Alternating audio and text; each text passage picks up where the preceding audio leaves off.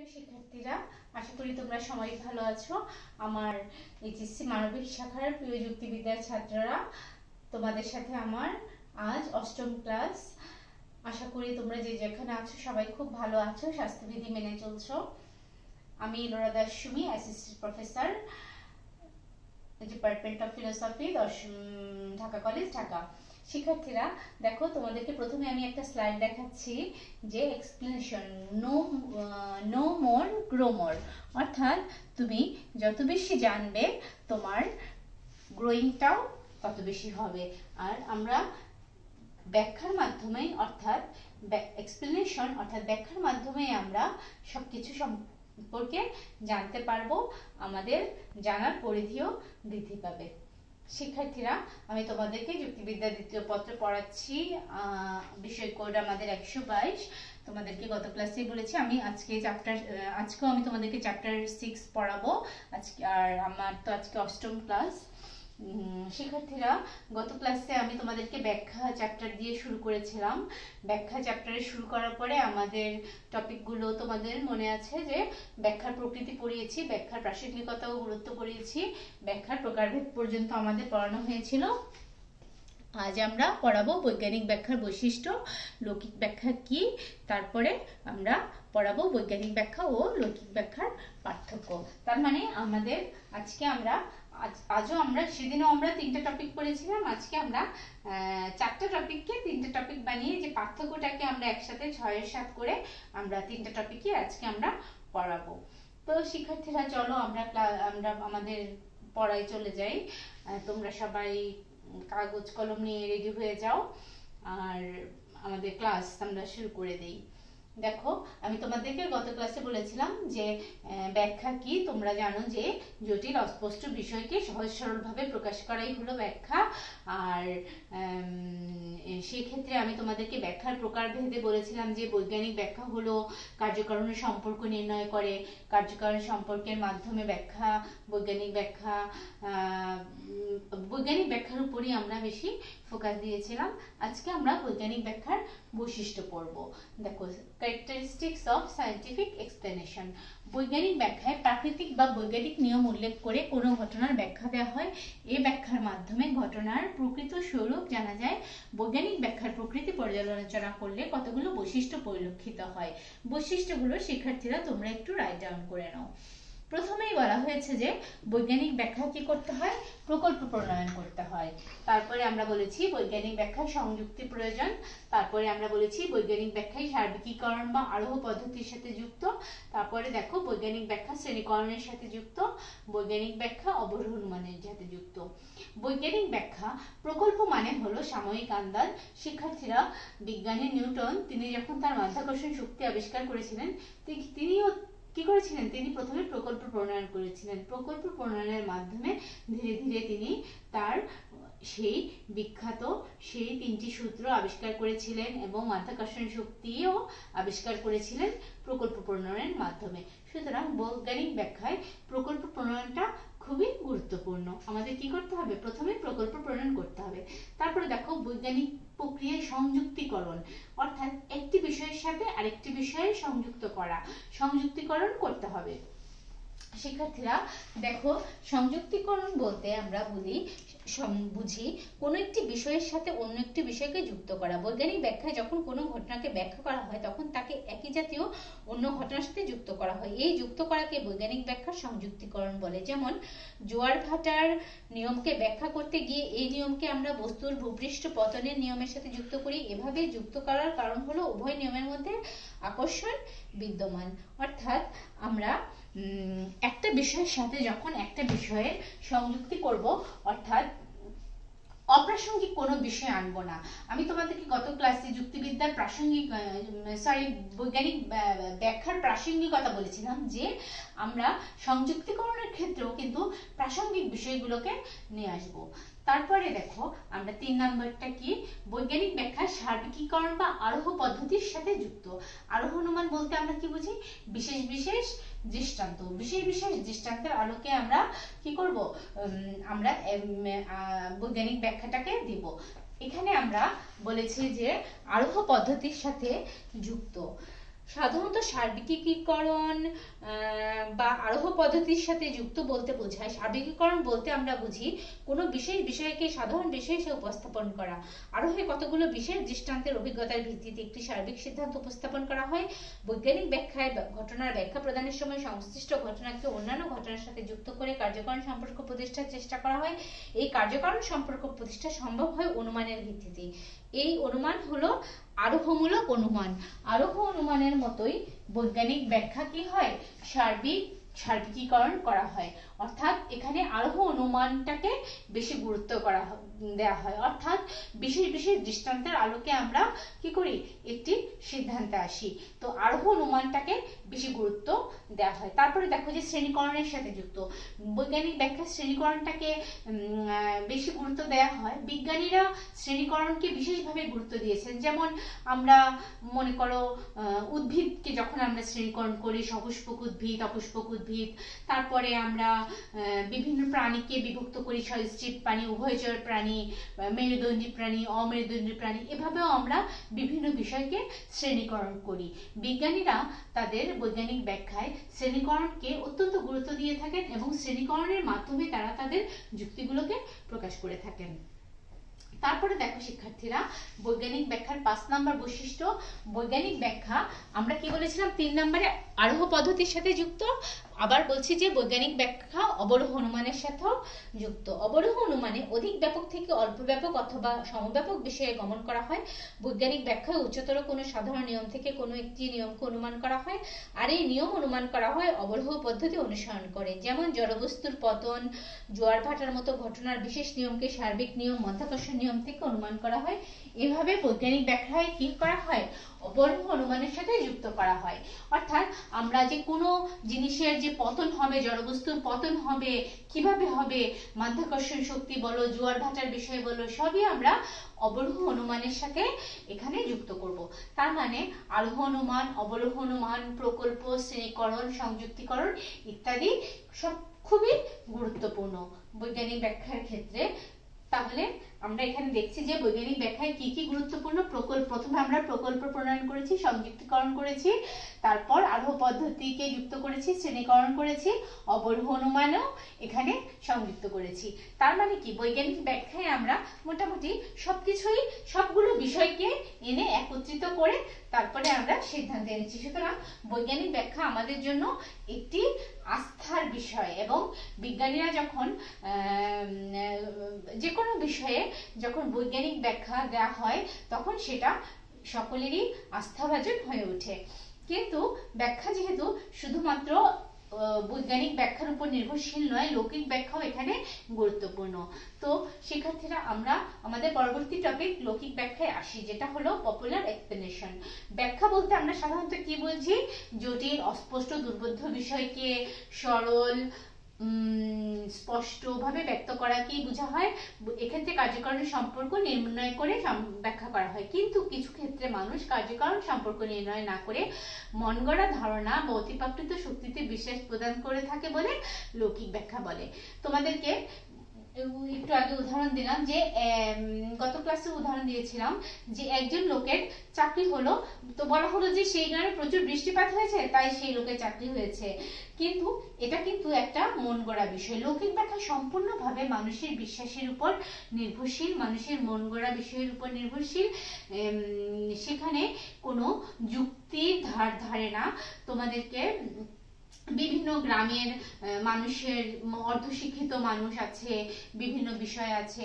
তারা তারা কি করে? বিভিন্ন ভূত প্রেতে বিশ্বাস করে। তারা কোনো মানুষ অসুস্থ হলে মনে করে যে, হয়তো তাকে তাবিজ করা হয়েছে। গ্রামগঞ্জে কিন্তু এখনও মানুষের ভিতরে যাদের শিক্ষার বিভিন্ন অভাব আছে, তারা লৌকিক বিশ্বায়, বিশ্বাসে, তারা বেশি বিশ্বাসী। কুসংস্কারে তারা বেশি আচ্ছন্ন হয়ে আছে এবং ধর্মীয় বিষয়টাকে তারা বেশি গুরুত্ব দেয়। ধর্মের দোহাই দিয়ে বিভিন্ন ধরনের ফতোয়া তৈরি করে এবং সাধারণ মানুষের মনে কি করে? এক ধরনের ভীতির সৃষ্টি করে।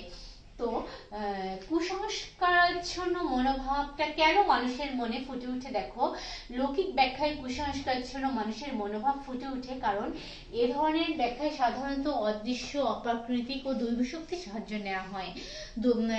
যার ফলে মানুষের অজ্ঞতা অবিদ্যা, সামাজিক কুসংস্কার তারপর গোড়ামি, ধর্মান্ধতা প্রভৃতির প্রয়োগ লক্ষ্য করা যায়। এসব কারণে লৌকিক ব্যাখ্যায় কুসংস্কারের জন্য মর্ম ফুটে উঠে আদিম যুগে মানুষ কি করেছিল? মানুষ বিভিন্ন ধরনের পাথরের পূজা করত। তখন মানুষের কোনো আশ্রয় ছিল না। মানুষ দেখা যেত যে বিভিন্ন প্রাকৃতিক দুর্যোগ আসতো, সমুদ্র ফুসে উঠত, ঘূর্ণিঝড়ে। তখন হয়তো ভাবতো যে সমুদ্রের পূজা করলে হয়তো তোমরা হয়তো সমুদ্র শান্ত হয়ে যাবে। তখন মানুষের ভিতরে সেই শিক্ষাটা ছিল না যে কেন আসলে সমুদ্রে ঘূর্ণিঝড় হচ্ছে। বিভিন্ন বিভিন্ন আমার বিভিন্ন ধর্মে আছে যে সূর্যকে দেবতা বলে মনে করা হয়, সূর্য পূজা হয়। আমি ছোটবেলায় দেখেছি সূর্য পূজা হয়েছে। যারা সূর্য পূজা করতো সকালে সূর্য ওঠার আগে তারা একটা, দেখা যেত একটা কলা গাছে বিভিন্ন রকম ফুল টুল দিয়ে সাজিয়ে এনে রাখতো। তারপর সারাদিন সেটা, সেখানে তারা দাঁড়িয়ে থাকতো, সূর্য ডোবা পর্যন্ত। সূর্য পূজা আমি দেখেছি। আমি নিজে এটা দেখেছি।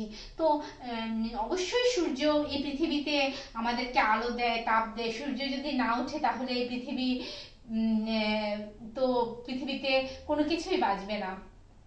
সূর্যের অনেক শক্তি আমরা জানি, কিন্তু আমরা আসলে এর বৈজ্ঞানিক ব্যাখ্যা দিয়ে থাকি যে সূর্য, আল, সূর্যের আলো ছাড়া গাছ বাঁচবে না সালের সংশ্লেষণ হবে না, উদ্ভিদ যদি না বাঁচে, প্রাণীকুল বাঁচবে না, এগুলো হলো বৈজ্ঞানিক ব্যাখ্যা। তো যাই হোক, শিক্ষার্থীরা তো মূলত অতি প্রাকৃতিক শক্তি, দৈব শক্তি, অদৃশ্য শক্তির উপর বিশ্বাস করেই লৌকিক ব্যাখ্যা কুসংস্কারাচ্ছন্ন মনোভাব ফুটে ওঠে। আমরা এখন দেখো লৌকিক ব্যাখ্যার বৈশিষ্ট্য পড়ছি আমরা যেরকম বৈজ্ঞানিক ব্যাখ্যার বৈশিষ্ট্য করেছি সেরকম লৌকিক ব্যাখ্যার বৈশিষ্ট্য, অর্থাৎ ক্যারেক্টারিস্টিক্স অফ পপুলার এক্সপ্লেনেশন লৌকিক ব্যাখ্যায় মানুষ সাধারণত ধারণা বা বিশ্বাসের উপর ভিত্তি করে ফুটে উঠেছে। তারা তাদের ধারণাকে বেশি গুরুত্ব দিয়ে থাকে, তাদের বিশ্বাসকে বেশি গুরুত্ব দিয়ে থাকে। সেখানে তারা প্রকল্প প্রণয়ন করে না।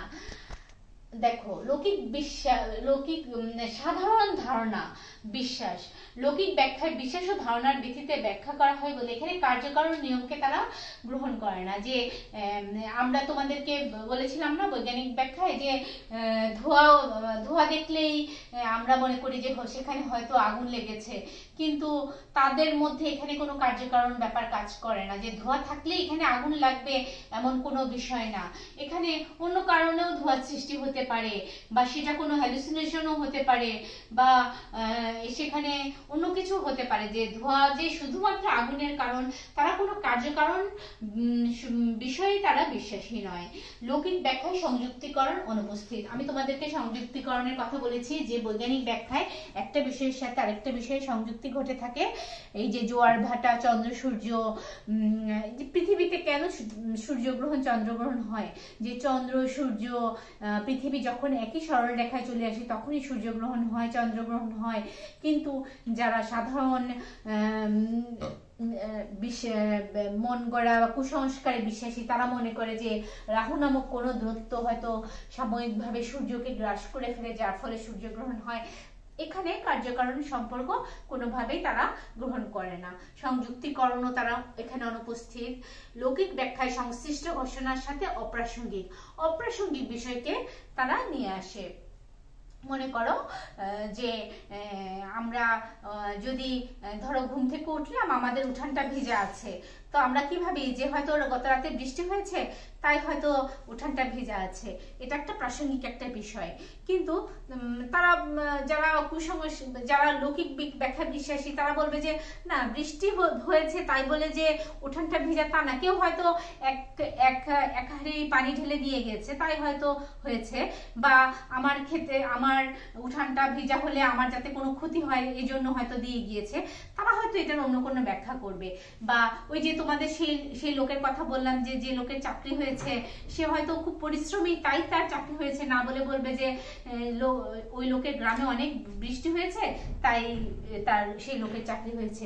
সব বিষয়গুলো অপ্রাসঙ্গিক। বৈজ্ঞানিক ব্যাখ্যার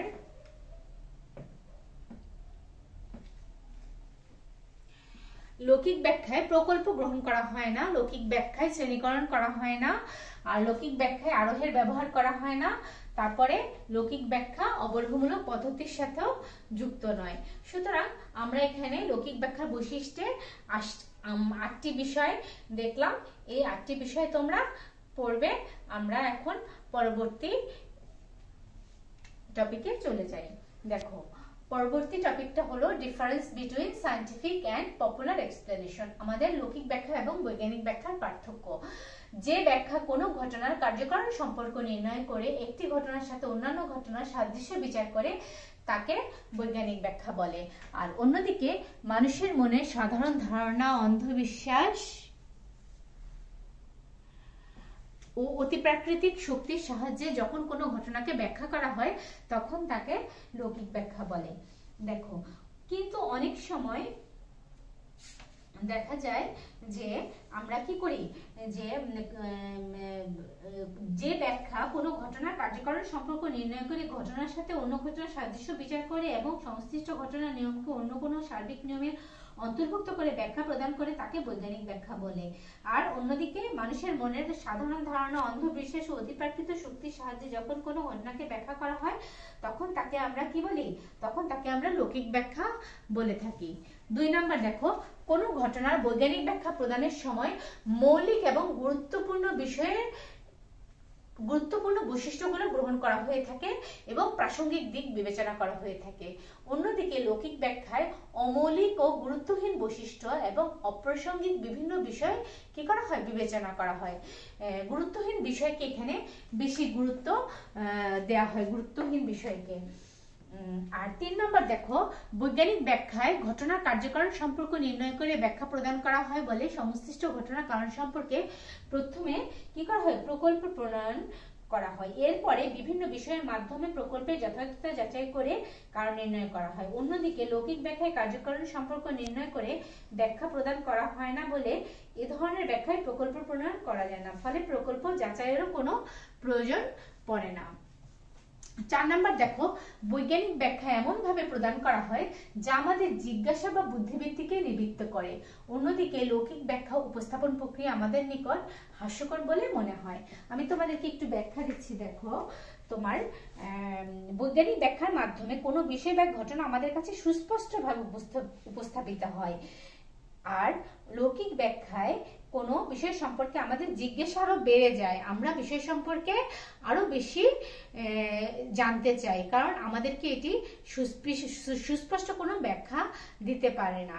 তারপরে দেখো, বৈজ্ঞানিক ব্যাখ্যায় সমগ্র প্রকৃতিকে নিয়মের উপাসক একতার নির্দেশক, সর্বত্র একই আচরণকারী হিসাবে বিবেচনা করা হয়। এখানে প্রকৃতিকে নিয়মের উপাসক অর্থাৎ প্রকৃতির নিয়মানুবর্তিতা নীতি, কার্যকারণ নিয়ম ইত্যাদি সমস্ত কিছুকে এখানে গ্রহণ করা হয়, প্রকল্প প্রণয়ন করা হয়। ইত্যাদির মাধ্যমে কি করা হয়? বৈজ্ঞানিক ব্যাখ্যাকে আমরা আলোচনা করে থাকি। আর লৌকিক ব্যাখ্যায় প্রাকৃতিক অতি প্রাকৃতিক শক্তির খেয়ালকুশিকে বেশি ব্যাখ্যা করা হয়। দৈব শক্তির উপর বেশি গোড়ামি, দৈব শক্তি ইত্যাদিকে বেশি প্রাধান্য দেওয়া হয়। তারপরে দেখো, শিক্ষার্থীরা, ছয় নাম্বার, বৈজ্ঞানিক ব্যাখ্যায় সংশ্লিষ্ট ঘটনা নিয়মকে একই জাতীয় অন্যান্য নিয়মের সাথে সংযুক্ত করা হয়। যেমন জোয়ার ভাটার বিষয়, এখানে চন্দ্র সূর্যকে সংযুক্ত করা হয়। সূর্যগ্রহণের ক্ষেত্রে আমরা মনে করি যে পৃথিবী চন্দ্র সূর্য যখন একই সরলরেখায় চলে আসে, তখন জোয়ার তখন চন্দ্রগ্রহণ হয়, সূর্যগ্রহণ হয়। একটা ঘটনার সাথে আরেকটা ঘটনার আমরা সংযুক্তিকরণ করে থাকি। কিন্তু লৌকিক ব্যাখ্যায় কি করা হয়? অতি প্রাকৃতিক ও মন গড়া বিষয়ের ব্যাখ্যা দেয়া হয়। এখানে মানুষের অন্ধবিশ্বাস, কুসংস্কার, গোড়ামিকে প্রাধান্য দেওয়া হয়। এখানে কোনো সুনির্দিষ্ট নিয়ম কানুন অনুসরণ করা হয় না। ব্যক্তিভেদে বিভিন্ন জন বিভিন্ন রকম ব্যাখ্যা দিয়ে থাকে এবং অপব্যাখ্যা দিয়ে থাকে। এই অপব্যাখ্যা প্রয়োগের প্রচেষ্টা করে থাকে। সাত নাম্বার, বৈজ্ঞানিক ব্যাখ্যায় আরোহ অনুমান ব্যবহার করে কার্যকারণ সম্পর্ক নির্ণয় করা হয়। অর্থাৎ তোমার এখানে অন্যদিকে লৌকিক ব্যাখ্যায় আরোহ অনুমানের কোনো ব্যবহার নেই, তাই এ ধরনের ব্যাখ্যায় কোনো ঘটনা কার্যকরণের সম্পর্ক নির্ণয় করা যায় না। বৈজ্ঞানিক ব্যাখ্যায় শ্রেণীকরণ করা হয়, কারণ এ ধরনের ব্যাখ্যায়, এটা হলো আট নাম্বার। একটি নির্দিষ্ট ঘটনাকে অন্যান্য ঘটনার সাথে মৌলিক সাদৃশ্যের আলোকে একই শ্রেণীভুক্ত করা হয়। অন্যদিকে লৌকিক ব্যাখ্যায় শ্রেণীকরণের এরকম কোনো ব্যবহার নেই। এখানে আলোচ্য ঘটনা ও অন্যান্য ঘটনার মাঝে মৌলিক সাদৃশ্য নির্ণয় করে তাদের একই শ্রেণীভুক্ত করা হয় না। বৈজ্ঞানিক ব্যাখ্যায় অবরোহ পদ্ধতিরও ব্যবহার করা হয়। কারণ বৈজ্ঞানিক ব্যাখ্যায় উচ্চতর কোনো সাধারণ নিয়ম থেকে একটি বিশেষ নিয়ম অনুমান করা হয়। অন্যদিকে লৌকিক ব্যাখ্যায় উচ্চতর কোনো নিয়ম থেকে বিশেষ নিয়ম অবরোহ পদ্ধতি অনুমান করা হয় না। কারণ এখানে কোনো নির্দিষ্ট ঘটনার ব্যাখ্যা করা হয়। মন গড়া ধারণা, অন্ধবিশ্বাস ও অতিপ্রাকৃতিক শক্তির বিশ্বাস এখানে বেশি প্রযোজ্য। তারপরে শিক্ষার্থীরা দেখো, দশ নাম্বার, বৈজ্ঞানিক ব্যাখ্যার ব্যক্তিভেদে ভিন্ন হয়। কারণ এখানে ঘটনার এমন কতগুলো দিক বিবেচনা করে ব্যাখ্যা করা হয়, যা সকল ক্ষেত্রে একই রকম হয়। অন্যদিকে লৌকিক ব্যাখ্যা ব্যক্তিভেদে ভিন্ন হয়। মানুষের বিশ্বাস, মানসিক অবস্থা, শিক্ষা দীক্ষা ও চারিত্রিক বৈশিষ্ট্যের উপর ভিত্তি করে লৌকিক ব্যাখ্যা গ্রহণ করা হয়ে থাকে। তারপরে শিক্ষার্থীরা দেখো বৈজ্ঞানিক ব্যাখ্যায় ঘটনার সাথে ব্যাখ্যার প্রাসঙ্গিকতা থাকে যে প্রাসঙ্গিক বিষয়, বৈজ্ঞানিক ব্যাখ্যার অন্যতম বিষয় হলো প্রাসঙ্গিক। আমি যে কোনো একটা বিষয় ব্যাখ্যা করব, সেখানে আমি প্রাসঙ্গিকতাকে নিয়ে আসব। অপ্রাসঙ্গিক বিষয় এখানে আমি নিয়ে আসব না। প্রাসঙ্গিক এবং গুরুত্বপূর্ণ বিষয়ের সাহায্যে আমি বৈজ্ঞানিক ব্যাখ্যা দিয়ে থাকব। এটি বৈজ্ঞানিক ব্যাখ্যার একটি গুরুত্বপূর্ণ দিক, সেটা হলো প্রাসঙ্গিকতা। মনে করো যে আমি কোথাও কোনো দুর্ঘটনা অনেক লোক মারা গেল, তখন আমি বলতে পারি যে গাড়িটি হয়তো গাড়িটির কোনো চাকায় সমস্যা ছিল বা ড্রাইভার হয়তো গাড়ি চালা ঠিক মতো চালাচ্ছিল না। এই ঘটনার সাথে এক একটি ঘটনার একটা প্রাসঙ্গিকতা থাকে। কিন্তু আমরা যদি বলি যে না, সমস্ত কিছুই ঠিক ছিল গাড়িতে এমনি এমনি কাত হয়ে পড়ে গেল। এই এই যে, এই ধরনের কথাগুলো যখন আমরা বলি, তখন এক ধরনের অপ্রাসঙ্গিক বিষয় চলে আসে। কিন্তু ঘটনার প্রাসঙ্গিকতার আলোকে যখন আমরা কোনো কিছুর ব্যাখ্যা দিয়ে থাকি, তখনই ব্যাখ্যা, বৈজ্ঞানিক ব্যাখ্যাটা সকলের কাছে গ্রহণযোগ্য হয়ে ওঠে। আর লৌকিক ব্যাখ্যায় যে বিবৃতির মাধ্যমে ঘটনার ব্যাখ্যা করা হয়, সেখানে আলোচ্য ঘটনার কোনো প্রাসঙ্গিকতা থাকে না। এখানে অপ্রাসঙ্গিক বিষয়গুলো বেশি চলে আসে। মৌলিক এবং গুরুত্বপূর্ণ বিষয়ের বদলে গুরুত্বহীন বিষয়ের বেশি প্রাধান্য দেওয়া হয়। তারপরে দেখো শিক্ষার্থীরা বৈজ্ঞানিক ব্যাখ্যায় যে নিয়মের মাধ্যমে একটি ঘটনার ব্যাখ্যা করা হয় তা দিয়ে অন্য ঘটনারও ব্যাখ্যা করা যেতে পারে। এই যে মাধ্যাকর্ষণ শক্তি, নিউটনের যে সেই আপেল পড়ার দৃশ্য সেটা কিন্তু মানে এই যে তিনি মাধ্যাকর্ষণ শক্তি আবিষ্কার করেছিলেন যে কোনো বস্তু ভূপৃষ্ঠে কীভাবে কেন পতিত হলো, জিনিসটা কেন উপরের দিকে উঠে, উড়ে চলে গেল না। এভাবে যে ব্যাখ্যা করা হলো, সেটাও কিন্তু তোমার মাধ্যাকর্ষণ শক্তি আবিষ্কারের ক্ষেত্রে কি করা হয়েছে? এখানে একটি ঘটনার সাহায্যে আমরা আরেকটি ঘটনার ব্যাখ্যা করেছি এবং মাধ্যাকর্ষণ শক্তির সাহায্যে আমরা জোয়ার ভাটার জোয়ার ভাটার ব্যাখ্যা দিয়েছি, চন্দ্রগ্রহণ সূর্যগ্রহণের ব্যাখ্যা দিয়েছি। আমরা এখানে একটি ঘটনার সাথে আরেকটি ঘটনার ব্যাখ্যা দিয়েছি মানে কি? এখানে আমরা সংযুক্তিকরণের কথা বলেছি। যে বৈজ্ঞানিক ব্যাখ্যায় তোমাদেরকে যে আমি সংযুক্তিকরণের কথা বলেছি, সেই সংযুক্তিকরণটা এখানে এসেছে। তারপরে দেখো, বৈজ্ঞানিক ব্যাখ্যা অপেক্ষাকৃত জটিল প্রকৃতির। অন্যদিকে, লৌকিক ব্যাখ্যায় যেহেতু সাধারণ ধারণা ও বাহ্যিক সাদৃশ্যের ভিত্তিতে ব্যাখ্যা প্রদান করা হয় তাই এটি অপেক্ষাকৃত সহজ প্রকৃতির। বৈজ্ঞানিক ব্যাখ্যা জটিল বলা হয়েছে এজন্য যে এখানে বিভিন্ন ধরনের উদাহরণ, ব্যাখ্যা, বিভিন্ন ধরনের পরীক্ষা নিরীক্ষা, বিভিন্ন ধরনের আলোচনা, বিভিন্ন বিষয়, অবরোহ পদ্ধতি, আরোহ পদ্ধতি, প্রাসঙ্গিকতা, সংযুক্তিকরণ, সার্বিকীকরণ ইত্যাদি বিষয়গুলো, জ্ঞানমূলক বিভিন্ন বিষয়গুলো এখানে নিয়ে আসা হয়েছে, যার ফলে আমরা কি করেছি? বলেছি যে এটাকে আমরা মনে হয়েছে যে বৈজ্ঞানিক ব্যাখ্যা বেশ জটিল একটা বিষয় বলে আমাদের মনে হয়েছে। আর অন্যদিকে লৌকিক ব্যাখ্যায় যেহেতু সাধারণ ধারণা ও বাহ্যিক সাদৃশ্যের ভিত্তিতে ব্যাখ্যা প্রদান করা হয়েছে, তাই এটি অপেক্ষাকৃত সহজ প্রকৃতির কেননা, এটা সম্পর্কে কোনো সংযুক্তিকরণ বা কোনো প্রাসঙ্গিকতা বা কোনো বৈজ্ঞানিক আলাপ আলোচনা কোনো কিছুই করা হয়নি। মানুষের মন গড়া ধারণা, গোড়ামি, অন্ধবিশ্বাস, কুসংস্কার, ব্যক্তিভেদে বিভিন্ন জন বিভিন্ন রকম ধারণার সাহায্যে এটির ব্যাখ্যা দিয়েছে। এটি ব্যাখ্যা দিতে গিয়ে কোনো বৈজ্ঞানিকের, কোনো বিজ্ঞান, বিজ্ঞানের আশ্রয় নিতে হয়নি। এটা মানুষের মন গড়া একটি বিষয়, যার ফলে এটি অপেক্ষাকৃত সহজ প্রকৃতির বলে মনে হয়েছে। ঠিক আছে, শিক্ষার্থীরা, তারপরে দেখো শিক্ষার্থীরা, বৈজ্ঞানিক ব্যাখ্যার যথার্থতা হলো যাচাইযোগ্য। এখানে সংশ্লিষ্ট ঘটনার যে ব্যাখ্যা প্রদান করা হয়, তার যথার্থতা যাচাই করা যায়। অন্যদিকে লৌকিক ব্যাখ্যা যথার্থতা যাচাইযোগ্য নয়, কারণ এখানে ব্যাখ্যার যে দৈবিক ও অবান্তর ঘটনার উল্লেখ করা হয় তা যাচাইযোগ্য নয়। শিক্ষার্থীরা, তোমাদেরকে আমি আরও একটি নিয়ম বলছি, সেটা হলো বৈজ্ঞানিক ব্যাখ্যার ক্ষেত্রে সংশ্লিষ্ট ঘটনার সাথে বৈজ্ঞানিক নিয়মের সাদৃশ্য দেখিয়ে ব্যাখ্যা করা হয় বলে এই জাতীয় ব্যাখ্যায় অনুপপত্তি ঘটার তেমন কোনো আশঙ্কা থাকে না। অন্যদিকে লৌকিক ব্যাখ্যার ক্ষেত্রে সংশ্লিষ্ট ঘটনার সাথে কোনো বৈজ্ঞানিক নিয়ম অনুসরণ করে ব্যাখ্যা প্রদান করা হয় না বলে প্রায়ই অনুপপত্তির আশঙ্কা থাকে। তো শিক্ষার্থীরা, সুতরাং আমরা বলতে পারি যে আমরা যে আলোচনা করলাম যে বৈজ্ঞানিক এবং লৌকিক ব্যাখ্যা, বৈজ্ঞানিক ব্যাখ্যায় কিছু গুরুত্বপূর্ণ দিক বিদ্যমান থাকে যা লৌকিক ব্যাখ্যায় থাকে না। তাছাড়া লৌকিক ব্যাখ্যা প্রাকৃতিকগতভাবে ব্যক্তির নিজস্ব বিশ্বাস, ধ্যান ধারণার উপর নির্ভরশীল। এই কারণে লৌকিক ব্যাখ্যা যৌক্তিক ও বৈজ্ঞানিক দিক থেকে গ্রহণযোগ্য নয়। আর প্রাকৃতিক নিয়ম বা বৈজ্ঞানিক নিয়মের উল্লেখ থাকার কারণে একমাত্র বৈজ্ঞানিক ব্যাখ্যাই গ্রহণযোগ্য। তাই বৈজ্ঞানিক ও লৌকিক ব্যাখ্যার মধ্যে কেবল বৈজ্ঞানিকভাবেই সার্বজনীনভাবে গ্রহণযোগ্য এবং সকলের কাছে সুন্দরভাবে, সুষ্ঠুভাবে আমরা গ্রহণ করতে পারি।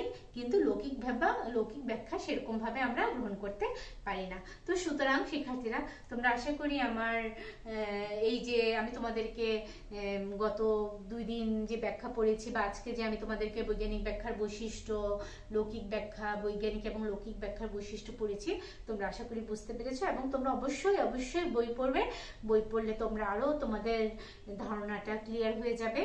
আর তোমরা প্রশ্নগুলো ছোট, তোমাদের যে এমসিকিউ কোশ্চেনগুলো বইয়ের ভিতর থেকে পড়বে, এখান থেকে পড়লে তোমরা কোশ্চেনগুলো পেয়ে যাবে, সৃজনশীল কোশ্চেনও পড়বে।